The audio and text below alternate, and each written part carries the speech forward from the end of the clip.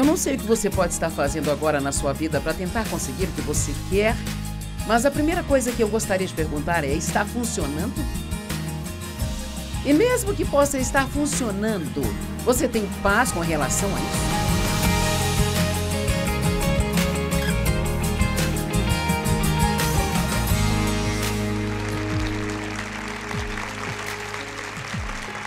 Seja bem-vindo ao Desfrutando a Vida Diária. Nós esperamos e oramos para que o que temos a dizer possa ajudá-lo a desfrutar sua vida mais. Hoje eu quero falar sobre discernimento. Na verdade, esse é um dos dons do Espírito pelo qual eu acho que devemos orar constantemente. No entanto, você não precisa ter um dom especial para precisar de discernimento. Isso é algo que precisamos para viver. E discernimento é algo que requer uma desaceleração na vida. E você vai me ouvir dizer isso várias vezes hoje.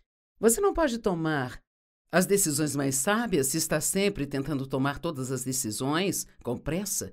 Eu também posso aplicar isso a mim mesma, porque eu tomo decisões muito rápidas. E felizmente muitas delas são boas, mas às vezes eu preciso levar um pouco mais de tempo do que eu levaria para realmente refletir sobre algo e pensar bem. Então eu acho que todo mundo hoje na nossa sociedade está com muita pressa, então, para ouvir de Deus, para sermos guiados pelo Espírito, eu acho que temos que aprender a desacelerar e certamente aprender a ser um pouco mais silenciosos, para que possamos ouvir o que Deus está dizendo, e não apenas o que todo mundo está dizendo, ou até mesmo o que estamos dizendo a nós mesmos, sabe? Eu acho que discernir é algo que é muito, muito, muito importante, porque te leva mais fundo do que as pessoas parecem ser. Te leva mais fundo do que se sente, sabe? Nas coisas. Tenho certeza de que todos vocês tiveram a experiência de estar perto de pessoas que parecem não haver nada de errado com elas, parecem ser apenas as melhores pessoas, dizem as coisas certas, fazem as coisas certas, parecem corretas, mas tem alguma coisa que. Eu sempre digo, é como se lá no fundo. E você não sabe o que é, mas você apenas não se sente bem sobre elas. Eu acho que muitas vezes temos que ter cuidado quando temos esse sentimento, porque isso não significa necessariamente que há algo de errado com elas? Pode significar que aquele não é um relacionamento certo para você? Então, às vezes, podemos nos confundir e começar a sermos críticos ou a julgar, ou. Digamos que talvez você vá a uma nova igreja e tudo pareça tão certo, eles dizem as coisas certas, mas te parece que. Algo sabe? Você e você pensa bem? Deve haver algum pecado aqui? Deve haver algo de errado? Deve haver algo acontecendo? E ali pode simplesmente não ser o lugar certo para você. Porque Deus quer te usar em outro lugar. Então, para discernir, a definição de discernimento significa distinguir entre o bem e o mal. A Bíblia diz que nos últimos dias as pessoas vão pensar que o mal é bom e que o bem é mal. E nós estamos vendo isso hoje, em dia. Essa é uma daquelas profecias bíblicas que estamos vendo acontecer diante dos nossos olhos, mas discernir significa distinguir entre o bem e o mal, entre o certo e o errado. Eu gosto disso, para distinguir entre o que é bom e o que é excelente.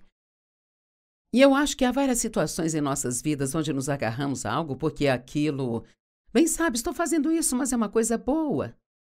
Mas você pode ficar ocupado fazendo um monte de coisas boas que podem te impedir de fazer a coisa que Deus quer que você faça ou uma coisa mais excelente. Discernir também significa compreensão adequada sobre a verdadeira natureza de algo ou de uma pessoa. Agora, em Provérbios, nós sabemos, está cheio de instruções para sermos sábios, para sermos excelentes. Outra palavra muito usada em Provérbios, seja prudente. E a palavra prudente significa ser um bom gestor, ter conhecimento, ter compreensão, então está falando sobre essas coisas mais profundas, mas no verso 5 diz: os sábios ouvirão e aumentarão seu aprendizado. E eu circulei isso aqui, porque podemos ler isso muito rápido e pensar, bem, os sábios aumentarão seu aprendizado, mas o sábio vai ouvir. É por isso que eu digo que precisamos ficar um pouco mais calados. E aqui novamente eu posso aplicar isso a mim mesma porque eu falo demais. Quando você está falando o tempo todo, você não ouve. Ou realmente escuta o que as outras pessoas dizem. Amém? Em Provérbios, Há vários tipos de tolos que são citados. Se você já leu Provérbios, sabe que lá diz o tolo, tolo, tolo, tolo, tolo. Interessante que há uma nota de rodapé de Provérbios 1:7 diz que em Provérbios vários tipos de tolos são discutidos, sabe? Incluindo aqueles que são de mente fechada, confiantes demais, que rejeitam instruções e correção, não são ensináveis não têm discernimento espiritual. Eles são espiritualmente cegos, superficiais endurecidos, e deliberadamente eles escolhem rejeitar a Deus e a sabedoria e são arrogantes. E realmente, para resumir, em particular, esse tipo de tolo é alguém que acha que já sabe de tudo, sabe? E então você não pode lhes ensinar nada. Outro tipo de tolo que a amplificada fala bastante é o tolo autoconfiante. A pessoa cuja confiança está em si mesma. Então, 1 Coríntios capítulo 2, versos 14 a 16, eu realmente gosto, olhei muito para esses versos na minha vida e eu quero compartilhá-los com você. O homem natural incrédulo, então, pessoas que não têm, não têm uma relação com Deus, elas não entendem coisas espirituais, sabe? Elas não aceitam as coisas, os ensinamentos e as revelações do Espírito Santo de Deus, porque para elas são tolices, são absurdas, ilógicas. Agora, se você já tentou explicar o porquê da maneira que você crê, ou porquê faz algumas das coisas que você faz como crente para uma pessoa não crente, sabe? Já sabe o que passa na cabeça deles, eles não entendem nada. Então, literalmente, quando você se torna uma nova criatura em Cristo, quando a pessoa se torna uma nova criatura em Cristo, ela começa a viver por um conjunto de padrões totalmente diferente do que o resto do mundo vive. Por exemplo, se você for falar com um não crente sobre perdoar seus inimigos e orar por eles e abençoá-los, eles pensaram que você está louco, sabe? Por que você faria isso? Porque toda a metodologia do mundo está em revidar, sabe? Você se vinga, você os exclui da sua vida, mas Deus nos dá uma sabedoria maior e nos ensina que ao perdoar as pessoas estamos realmente fazendo um favor a nós mesmos e entregar os primeiros 10% dos seus rendimentos. Quem incrédulo vai entender isso? Eles não entendem isso porque esse é um princípio espiritual. Que tal não se preocupar com seus problemas? Sabe, a maioria das pessoas que não tem uma relação com Deus, e mesmo algumas que têm, pensariam que não seriam bons pais se não se preocupassem com seus filhos. Bem, é meu dever, eu sou uma mãe, eu me preocupo com os meus, com meus filhos. Mas veja, quando você tem um relacionamento com Deus, sabe que isso não é a coisa a se fazer? E uma das grandes coisas que os incrédulos não sabem absolutamente nada é a respeito da diferença entre o que a Bíblia chama de obras da carne e a obra de Deus. Deus nunca nos chama para não trabalhar, mas Ele nos diz para não entrar em obras com S maiúsculo no final. E obras da carne é gastar a nossa energia tentando fazer o que só Deus pode fazer. E é inútil, sem sentido, e nunca se chega a lugar algum. Seguindo com esta escritura, agora diz assim: Mas. Bem, eu Vou começar de novo. Mas o homem incrédulo não aceita as coisas de Deus porque são tolices para ele, são absurdas e ilógicas, e ele realmente é incapaz de compreendê-las porque são espiritualmente discernidas. Veja, são coisas que são discernidas bem lá no seu interior. Não é algo que simplesmente sai do alto da sua cabeça ou que é baseado em como você se sente, sabe? Ele não é qualificado para julgar os assuntos espirituais. Mas o homem espiritual, o cristão espiritualmente maduro, julga todas as coisas. Ele questiona, examina e aplica o que o Espírito Santo lhe revelou. Mas ele próprio não deve ser julgado por ninguém. O incrédulo não pode julgar e nem entender a natureza espiritual do crente. Agora, deixe-me dizer isso da maneira mais gentil que eu consigo. O crente realmente completo e totalmente comprometido para o resto do mundo pode parecer um pouquinho estranho, sabe?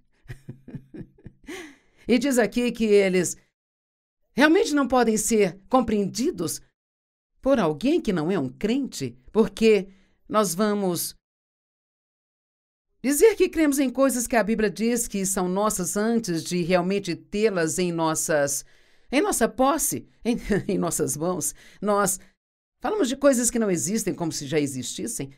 Nós podemos, falamos o que Deus diz ao invés do que nós temos a dizer. Bem, para alguém que observa, que não entende esses princípios, eles diriam: bem, você está mentindo. Mas você não está, você está falando a mesma coisa que Deus disse. Ele é um Deus que chama, ele chama à existência as coisas que não existem. Então nós declaramos qual é a vontade de Deus e não qual é a nossa circunstância. E às vezes, para as pessoas do mundo que nos observam, pode parecer que estamos fazendo algo muito, muito, muito tolo e absurdo. Porque aquilo não faz sentido para ela, sabe? Um homem natural vive pela sua própria cabeça. Mas o homem verdadeiramente espiritual, o qual estamos trabalhando para ser, o homem verdadeiramente espiritual, aprende a viver pelo discernimento e orientação e liderança do Espírito Santo. O homem espiritual, o cristão espiritualmente maduro, julga todas as coisas. Ele examina todas as coisas. Ele pensa nas coisas. Mas ele não pode ser julgado por ninguém. Porque quem conheceu a mente e os propósitos do Senhor de modo a instruí-lo? Mas nós temos a mente de Cristo para sermos guiados por seus pensamentos e seus propósitos. Agora eu quero te dar alguns bons exemplos na Bíblia. Alguns casos diferentes sobre essa coisa de discernimento. Ou sobre as obras da carne versus a obra de Deus. Nós sabemos que quando Deus nos dá uma promessa de que Ele vai fazer algo, seja algo que lemos na Bíblia ou algo que sentimos que Deus está falando conosco individualmente, sabemos que estas coisas não acontecem imediatamente, não é? e como sabemos disso? As promessas de Deus vêm até nós pela fé e paciência. É difícil para nós entender porque, se Deus pode fazer algo muito facilmente, por que Ele nos faz esperar mais do que nós gostaríamos? Estes são os testes. nós somos testados em algumas áreas para ver se a nossa fé é realmente real. E então, nós temos um casal na Bíblia, Abraão e Sara, que nessa escritura ainda eram chamados pelos seus nomes mais antigos, Sarai e Abrão. Deus deu a eles novos nomes para serem mais descritivos para o que ele os estava chamando. Abrão quer dizer pai de muitas nações e Sara é princesa. Mas aqui diz a Sarai, esposa de Abrão, não lhe nasceram filhos. E ela tinha uma serva egípcia cujo nome era Agar. Agora Deus lhes prometeu que teria o seu próprio filho. Mas, no natural, era ridículo, porque Abraão já tinha quase 100 anos de idade. E ela já havia passado da época de quando ela poderia ter filhos. Deus já falou algo ao seu coração que parecia totalmente impossível? Se Deus não fizesse aquilo, não haveria como ser feito? Então Abraão realmente liberou sua fé em Deus e ele creu, mas muitos, muitos anos se passaram e então, como qualquer pessoa faria, eles começaram a enfraquecer na fé e a pensar que precisavam ajudar a Deus. Você já pensou que talvez Deus precisasse de uma ajudinha sua? Eu me pego às vezes sugerindo a Deus que ele poderia fazer, bem, Deus, você você poderia fazer isso para resolver o meu problema? Então, Sara entrou em um desses humores naquele dia onde sentiu que poderia ajudar a Deus a resolver o seu problema, mas você vai ver rapidamente como a ideia dela foi totalmente tola. Então Sarai disse a Abraão: Veja, o Senhor me pediu de ter filhos, então eu estou pedindo agora para você se deitar com a minha serva para que ela possa ter um filho com você. e talvez eu venha ter filhos através dela. E Abraão ouviu a Sarai e fez o que ela disse. Então ele se comportou tão imprudentemente quanto ela. Agora, só para tirar um pouco da pressão. Homens terem concubinas naqueles dias não era tão estranho como é hoje, e ainda não era algo que Deus desejava ou aprovava, mas era bem comum. Naqueles dias, no entanto, qualquer mulher deve ter bom senso para não dar a outra esposa ao marido? Porque isso só traz confusão, problemas. Você não pode colocar duas mulheres na mesma casa, dar a elas o mesmo homem, esperar que elas não tenham uma briga. Ela diz: talvez eu possa ter um filho através dela. Então, é importante que todos ouçam isso hoje, porque seja o que for que você queira de Deus, seja lá o que você esteja esperando e se cansou de esperar e agora esteja tentando fazer isso acontecer por si mesmo? Depois de Abraão ter vivido na terra de Canaã por dez anos, Sarai tomou Agar, a egípcia, sua serva, e a entregou ao seu marido para ser a segunda esposa dele. E ele entrou para a cama de Agar e ela concebeu, e quando ela percebeu que havia concebido, ela olhou com desprezo para sua senhora, considerando Sarai como insignificante por causa de sua infertilidade. Então, a questão é que ela conseguiu o que Sarai queria. Sarai não podia ter filhos e ela engravidou, então agora imediatamente ela tem uma atitude ruim. Nananana. Agora ele vai gostar mais de mim do que de você. E então, mas aqui está o engraçado. Sarai foi direto a Abraão e disse que a responsabilidade pelo dano feito a mim, por esse comportamento arrogante de Agar, esteja sobre você. Agora vamos nos lembrar de que foi a ideia dela. Ela o convenceu aquilo, mas agora a culpa é dele. Eu quero parar aqui e dizer que qualquer tipo de problema que você possa ter em sua vida, a única maneira de sair da confusão é assumindo 100% de responsabilidade pela sua vida. Culpar outras pessoas pelos nossos problemas é a história mais antiga dos livros. Isso começou bem lá atrás, no jardim. Quando Adão e Eva pecaram, Adão disse: Foi a mulher que você me deu. Eva disse: Foi a serpente. Alguém está sempre querendo culpar uma outra pessoa. Eu passei por isso por muitos anos. Eu tinha mau comportamento porque eu fui abusada na minha infância e esta era a minha maneira de pensar, sabe? E Deus um dia falou ao meu coração e disse: você é assim por causa do que aconteceu, mas não deixe que seja essa uma desculpa para ser assim. Temos que assumir a responsabilidade por onde estamos, mesmo que algo infeliz tenha acontecido com você, que tenha te levado a situações em que você está. Ninguém virá te tirar disso aí. Só Deus pode te tirar. E Ele só fará isso se você parar de culpar as outras pessoas pelos seus problemas.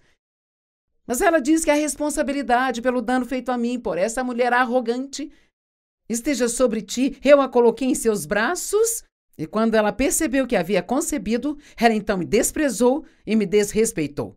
Bem, Abrão se virou e jogou de volta para ela e disse: no verso 6, ele disse: Veja, tua serva está em tuas mãos, sujeita à tua autoridade, agora faça tu com ela como quiser. Eu não vou ler mais nada disso, exceto simplesmente dizer que.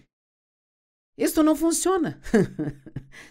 Você tem que ter muito cuidado quando está esperando Deus fazer algo para não ter uma ideia brilhante, sabe? Agora, não estou dizendo que não há coisas que Deus nos mostre para fazer, mas a diferença da obra de Deus e das obras da carne é que, em primeiro lugar, a obra de Deus funciona e as obras da carne não. Então, uma das coisas que nós podemos fazer e quero falar com vocês que nos assistem. Eu não sei o que você pode estar fazendo agora na sua vida para tentar conseguir o que você quer, mas a primeira coisa que eu gostaria de perguntar é: está funcionando? E mesmo que possa estar funcionando, você tem paz com isso? E você tem alegria? Isso está realmente produzindo as coisas na sua vida que você sente que realmente são as mais importantes? Eu me lembro de uma situação e acabei de pensar nisso agora. Dave e eu fazíamos compras. No shopping estávamos procurando um quadro para nossa casa e. Ele viu um quadro, ele gostou, mas eu não. Eu não o queria. Ele queria e eu não o queria. Então você sabe onde isso foi dar, não é? E Dave é um homem muito pacífico e tranquilo e se você continuar algo por muito tempo, geralmente ele, para ter paz, ele vai dizer: faça o que quiser. Bem, discutimos, discutimos, eu gostei, eu não gostei, e finalmente ele disse: eu não me importo. faço o que quiser. Então, quando saímos da loja e começamos a andar pelo shopping, pude sentir a minha carne meio presunçosa e satisfeita. Hum, eu consegui do meu jeito. Mas o senhor tinha algo mais a dizer em meu coração. Ele diz: Você acha que ganhou, mas na verdade perdeu. Porque você conseguiu o que queria, usando a carnalidade em vez de esperar em mim. Então veja, às vezes você pode fazer algo acontecer. Você poderia sair e comprar um carro novo. Mas você poderia fazê-lo sabendo o tempo todo, lá no fundo, que esta não era a coisa certa a se fazer. E ainda se você realmente não tomar um tempo para discernir e ouvir, porque você tem aquele pequeno sentimento desconfortável e incomodando, você pode acabar assinando na linha pontilhada e pode pagar aquilo por sete anos. Agora eles aumentaram os prazos, fica muito fácil você fazer dívida, sabe? Agora eu garanto que uma semana depois de comprar, quando ele estiver sujo e não estiver mais brilhando, você desejará ter o seu carro antigo de volta. Então precisamos ter muito cuidado com estas obras da carne em comparação com o trabalho de Deus, Deus sempre nos dá coisas para fazer. Eu tenho descoberto cada vez mais que quando estou orando por algo, muitas vezes Deus me mostra algo para eu fazer, ou algo para eu não fazer, e em particular sobre a saúde, sabe? É como se você estivesse indo a vários médicos que puder encontrar e ninguém está ajudando você e você está tentando isso e aquilo que o médico disse e nada funciona, sabe? E honestamente, Deus pode apenas te mostrar Pare de beber tanta cafeína. Aconteceu com meu marido. Ele não estava se sentindo bem, estava tendo o que ele chamou de atenção o tempo todo e ele não sabia o que era, isso acontecia há muitos anos. E Deus mostrou a ele que ele bebia muito refrigerante, ele ia muito a esses restaurantes e pegava esses refrigerantes tamanho grande. E ele fez isso por muito tempo, mas agora ele não podia mais fazê-lo. Às vezes, talvez você tenha sido capaz de fazer algo por um longo período, mas agora, quando você fica um pouco mais velho, seu corpo muda, sabe? Você não pode ser mais capaz de fazer tudo o que costumava fazer em outros tempos. Eu acho que nós podemos receber muitas boas informações de Deus se aprendemos a ouvir um pouco mais. Então, há coisas que Deus nos mostra para fazer. Mas você tem que ter muito cuidado com as ideias brilhantes que estão vindo de você que não funcionam? Eu digo, muitas vezes, e todo mundo acha graça, então você pode rir se quiser. Sabe, Deiva Esportes, eu nunca gostei de nenhum deles porque eu cresci sem poder participar de qualquer evento esportivo, então simplesmente não gostava. Eu era muito controlador e se não gostasse, não queria que ele gostasse também. Então eu esmungava e reclamava o tempo todo, e ele gostava de tudo que saltava e rolava, não importava o que era, sabe, gente? Não era apenas um esporte. Eram esportes em larga escala. E eu demorei um pouco. Mas um dia, literalmente, eu entrei na sala da família onde ele estava assistindo a televisão. E ele estava assistindo um jogo de beisebol, ouvindo um jogo de futebol, porque sabe, as coisas de pré-temporada meio que se encavalavam e ele estava ilustrando seus tacos de golfe. Então meu cérebro rapidamente disse: isto não está funcionando. Então, o que eu estou te pedindo hoje é para considerar quanta paz você tem nas coisas que está fazendo. Que tipo de fruto isto realmente está dando em sua vida? Nós realmente achamos que somos mais espertos que Deus? Nós realmente pensamos que Ele precisa do nosso conselho? Sabe, a pessoa espiritualmente madura a Bíblia diz em Hebreus 5. Mas a comida sólida, Hebreus 5,14, o alimento sólido é para os espiritualmente maduros, cujos sentidos são treinados pela prática, para distinguir entre o que é bom e o que é mal. Eu nem acho que isso tem que ser sobre o que é moralmente bom e moralmente mal, embora seja disso que as Escrituras está falando, eu acho que pode até ser que você deva discernir entre o que é bom para você ou que não é bom para você. Talvez você seja o tipo de pessoa que precisa de mais descanso e mais sono. do que os outros amigos que você tem. Talvez você tenha amigos que dormem só quatro horas por noite e ficam muito bem, mas quando você faz isso, vai se sentir mal no dia seguinte, vai ficar irritado com todo mundo, não vai andar no espírito, não vai querer orar e tudo mais.